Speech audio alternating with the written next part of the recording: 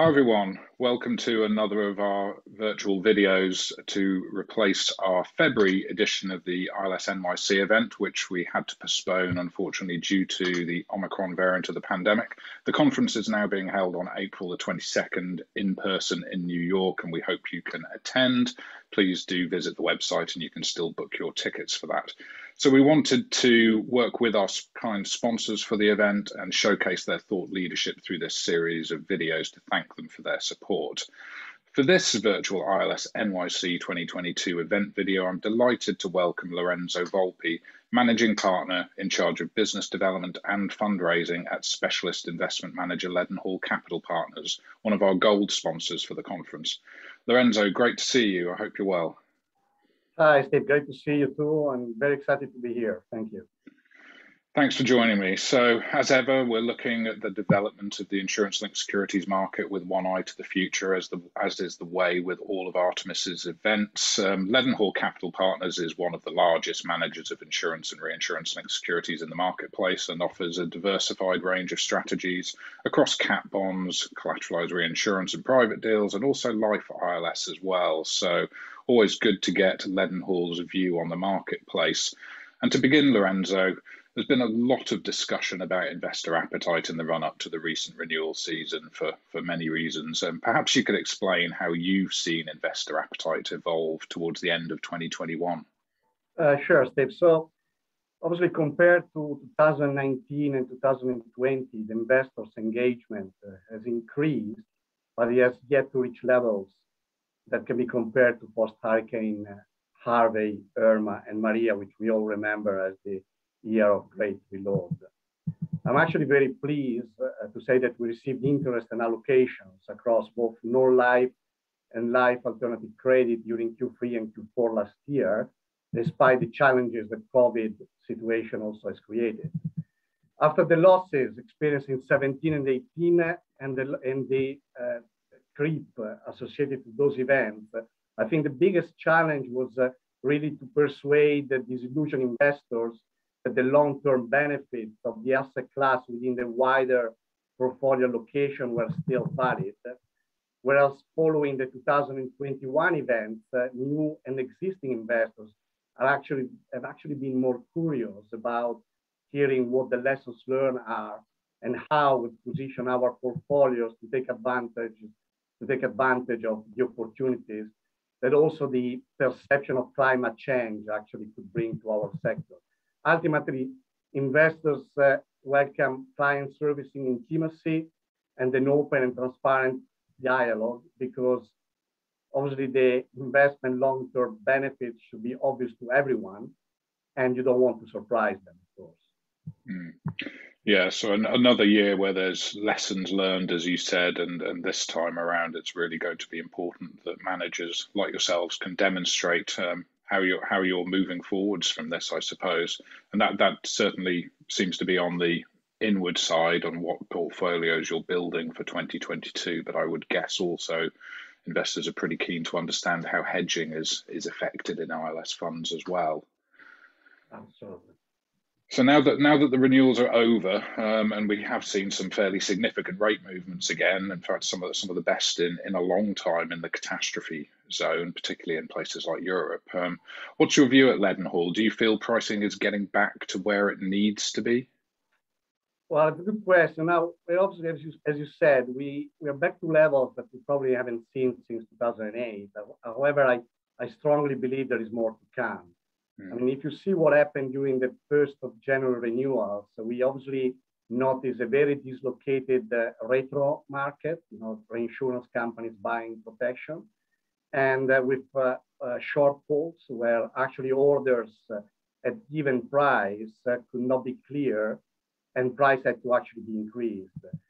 the aggregate capacity, you know, for basically to provide capacity for coverage that could lose money for multiple events in one year was scarce. There was a significant demand increase for per occurrence contracts, those contracts that could lose money for one event, which uh, have been placed in a larger scale.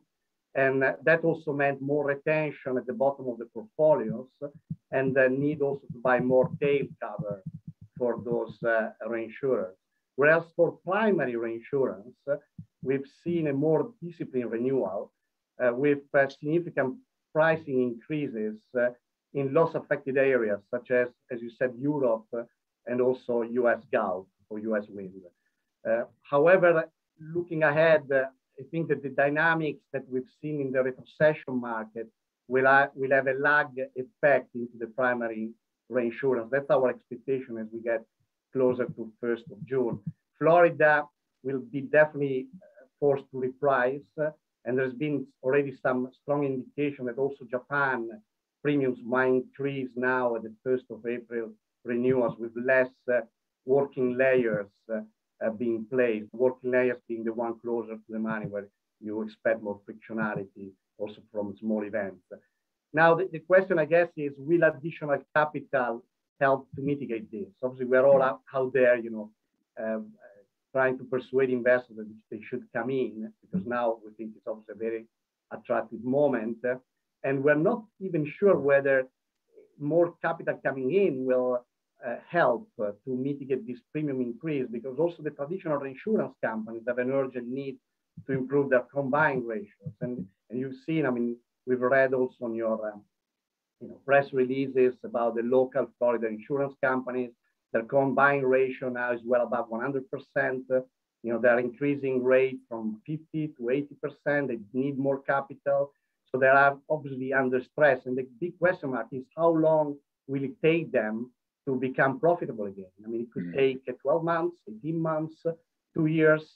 Also, Florida citizens, which is the insurance of lost last resort, see a, an uptake on their policies, which is which keep increasing over time. So these are definitely strong signals that support our expectation for bigger premium increases with also a dislocated primary reinsurance market rather than a disciplined one as we uh, get closer to 1st of, 1st of June renewals. Mm. Yeah, that's interesting. It does seem that risk aversion is um, is helping to keep sort of the rate baseline a little higher now, um, and perhaps the cat bond market's been a good sort of area that's shown that as obviously it softened a bit through last year, but it did seem to find a floor where investors were just not willing to go below, um, which is which is quite positive when quite a lot of money flowed into that market last year. It shows quite a lot of discipline. Um, so this time of year, you're now reconciling sort of your January renewal portfolio, and obviously you communicate that through to your investors. And how do you think they're feeling? Are they feeling more confident as we move into 2022 with portfolio returns now looking higher? Yeah, definitely, Steve. I mean, that, that's uh, that's my impression. I mean, there are uh, many types of in, uh, you know institutional investors uh, across multiple jurisdictions. Uh, non-life investments are providing an extremely attractive opportunity. And the same actually is valid for, uh, in our case, for life and alternative credit. you know, investors that are prepared to look at ILS for the long term will definitely benefit from it. I, I, think that most importantly, improved terms and conditions are not always apparent in the risk modeling output, but we are confident that the improvement will burn out uh, in the results of the funds. You know, post recent events, uh, investors have also carried out uh, extensive due diligence on our portfolios to get a very good understanding of how we position them for 2022 and beyond, of course, and they seem favorably impressed. I mean, that's at least my impression, but of course, time will tell. I mean, mm. you know, we've been saying that for a while. Hopefully, you know, that that will happen. Yeah. No, and that's a really good point about terms and conditions because it's the often overlooked area of the renewal, um, which actually can have as much of a difference on your performance as rate itself. So um, there's been sort of consecutive years of firming up of terms, um, so that should really bode well for longer term performance of portfolios, I believe. So, how do you expect investor demand for ILS will evolve through 2022? Um, I mean, do you think appetite will rise because of higher return potential? And also, what, what type of structures and strategies do you expect to prove attractive to investors this year? Yeah, so the obviously, you know, we have to compare it again, probably to the past, uh, just to put a bit of, you know, to put the asset class into the context, and also relative on a relative value basis, you know, how attractive ILS is, given what else is available out there. I mean, until you know 17 and 18 uh, post those events, uh, we saw a lot of investors coming back into the space or actually coming for the first time into the space. Uh, and they seem to have a preference for higher risk, uh, uh, higher return uh, yielding strategies. You know, ILS strong diversifier. I should add a small percentage of it to my portfolio. So why don't we go for high octane stuff? Now, obviously, post events, uh, now investors say, well, maybe we should look at less risky strategies. And uh, now, in reality, at Leadenhall, we constantly monitor our capacity across, uh, uh, you know, the, our funds, and we have uh, multiple funds that we can offer, and uh, we tend to try to grow our assets in parallel across all different strategies. So we are not uh, pushing one product versus the other. Instead, we are going to different type of investors, which might just have different appetite and say, okay, are you prepared to take more tail risk or you know, what, how does the asset class fit within your portfolio allocation? Ultimately, you know, our flexibility also means that we can tailor uh, uh, different type of strategies dependent on each investor's needs. So obviously I cannot deny that a, a quiet first quarter uh, and more clarity about COVID as well when I think about our life and alternative credit business uh, would really help to get more traction. Uh, but the macro environment, uh, as we all know, is extremely favorable, right? We have interest rate rising, and we know that there's no interest rate sensitivity. If interest rates go up, we actually benefit from it as an asset class. High inflation, more volatility across other asset classes. So again, you know, the uh, you know, all, all these factors are bringing attention to ILS again as a very attractive proposition. So I'm bullish by nature and positive by nature. So I hope I hope it's the case. So far, touch wood. As a firm, we've done extremely well, so we're very pleased and we expect to continue like that. Mm. Yeah, and it's it's good. It's positive that again, when macro sort of financial market conditions do become volatile, investors do start to turn towards the the the different type or differentiated products like ILS that can really bring something to portfolios for them. So um, yeah, I think that I think that will be a trend throughout the year again. So I guess uh, maybe we can ask you to sort of put your put your sort of crystal ball uh, in front of you and look into the future. And um, one of the topics that I know you're passionate about, and I know you've been following strongly at Leadenhall, is ESG um, and what that means for the ILS investor community and for managers like yourselves as well. But do, do you think the increasing focus will continue this year? And do you, do you think this is going to start to drive more investor appetite as well?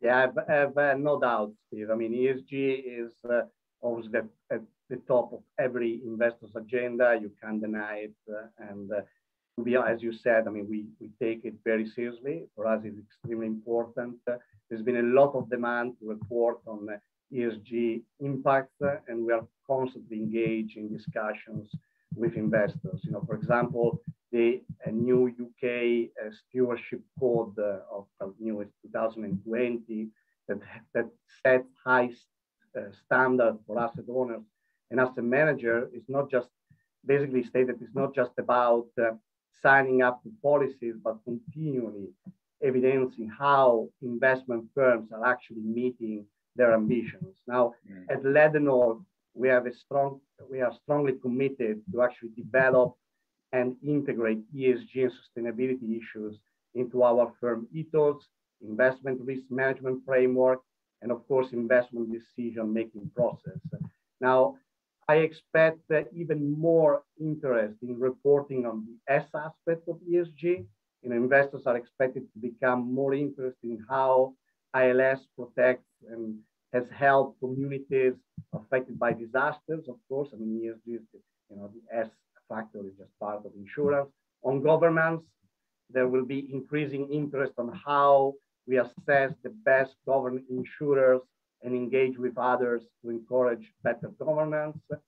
And given the recent moves in the ILS market to the combination of attractive pricing as well as alignment with uh, ESG ambitions, I, I mean, I think that that means uh, there could be a significant increase uh, an interest in ILS this year. Maybe one step further that, and that's where we're doing a lot of work, but there is no obvious answer to that because we have such a niche of an asset class compared to equity, income, and other asset classes, is whether we'll uh, reach a way to actually uh, get a rating uh, as well uh, that uh, will immediately recognize the benefits of the insurance-linked investment within portfolios that have, have been specifically designed, you know, for the for ESG uh, allocations.